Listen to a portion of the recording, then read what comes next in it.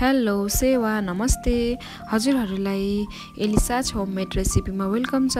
आज चाहिँ मैले हजुरहरूलाई निगुरोको अचार घरमै कसरी बनाउने भन्ने सिकाउनु गइरहेको छु सो लेट्स स्टार्ट सुरुमा चाहिँ हामीले यसरी यसलाई केलाउनु पर्ने हुन्छ। यसलाई चाहिँ मजाले केलाइसकेपछि चाहिँ हामीले यसलाई पानीमा मजाले वास गर्नुपर्ने हुन्छ। यसलाई चाहिँ मजाले वास गरिसकेपछि चाहिँ हामीले यसलाई बोइल वाटरमा यसलाई लगभग फाइभ मिनट्स जस्तो यसलाई मजाले पाक्ने गरी नै बोइल गर्नुपर्ने हुन्छ। सो त्यस पछाडि चाहिँ यो यसलाई यो निगुरो पाकिसकेपछि चाहिँ मैले यसरी टेबलमा यो सबै सामग्रीसहित राखिदिएको छु र नामसहित नै राखिदिएको छु।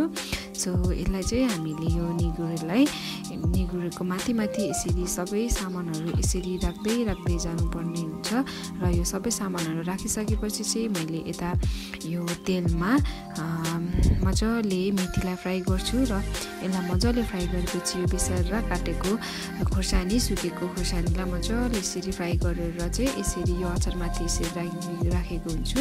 र यसरी राखिसकेपछि चाहिँ यसलाई मजाले मिक्स गर्नुपर्ने हुन्छ। यसलाई चाहिँ मजाले मिक्स गरेपछि चाहिँ हाम्रो यो अचारको टेस्ट चाहिँ मिठो हुन्छ। त्यस पछाडि चाहिँ हाम्रो यो घरमै बसी बसी निगुरोको अचार रेडी हुन्छ। So thank you